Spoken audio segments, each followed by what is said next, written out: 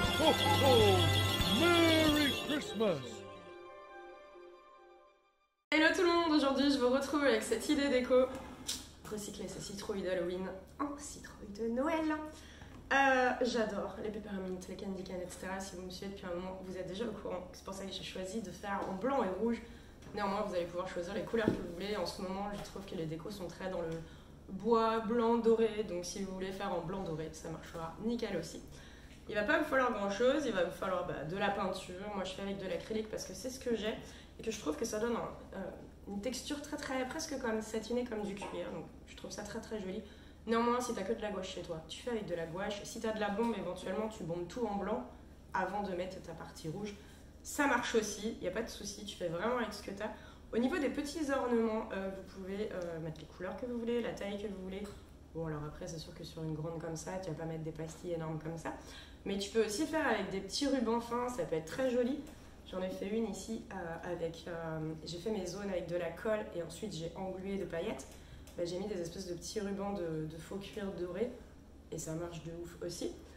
Donc à la base, tu vas prendre ta courge, tu n'as pas forcément besoin de la nettoyer par contre, pense bien à la dépoussiérer avant si elle l'était. Tu vas mettre ta première couche, donc tu vas mettre toujours la couleur la plus claire en premier, bah, forcément, question de logique. Tu peux en mettre juste aux zones où tu veux avoir cette couleur, tout en débordant légèrement, comme en mettre partout, si c'est beaucoup plus simple pour toi. En général, si tu fais avec du blanc euh, à l'acrylique, deux couches normalement suffisent. Néanmoins, si tu as du blanc de euh, titane, qui est un petit peu moins opaque que le blanc de zinc, peut-être qu'il en faudra trois. Comme il fait pas très beau, pas très chaud en ce moment, tu peux éventuellement mettre ta courge au four à genre 50 degrés. Moi, je mets chaleur tournante en laissant la porte ouverte, histoire que ça fasse de l'air légèrement chaud pour que ça, bah, que ça sèche un petit peu plus vite. Parce que sinon, tu vas mettre un petit moment à, à faire ton projet. C'est parti pour la deuxième couleur. Je te conseille pour la première couche de cette deuxième couleur de bien bien délimiter la zone et de bien bien précise. C'est peut-être le moment où tu dois être précise. Comme ça, quand arrivera la deuxième couche, tu auras juste à suivre le guide et ce sera nickel. Puis bon, j'avoue, c'est vraiment ma partie préférée.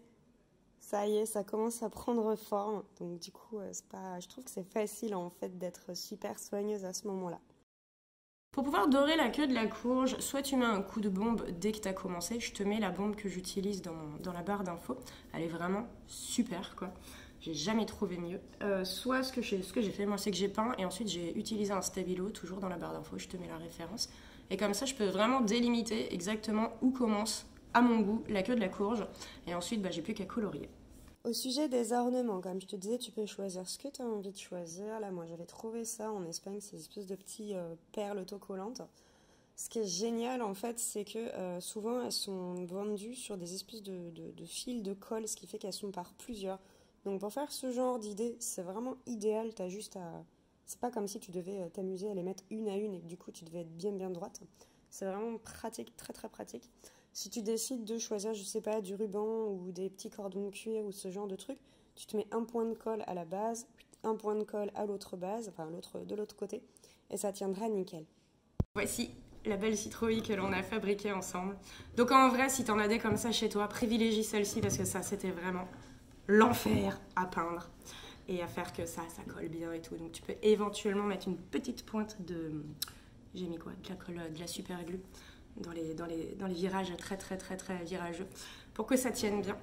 Euh, je te parlais tout à l'heure d'une qui pourrait être en paillettes. Ça donne ça. Très sympa aussi, je trouve. J'aime bien l'idée. On dirait un petit peu les, les boules vintage qu'il y avait sur le sapin de Noël de ma grand-mère. J'ai une espèce de réminiscence là.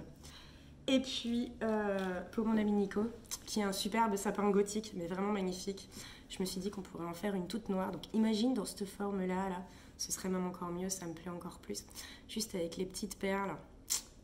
Voilà, c'est une bonne idée. Et enfin, Zoé en a fait une aussi.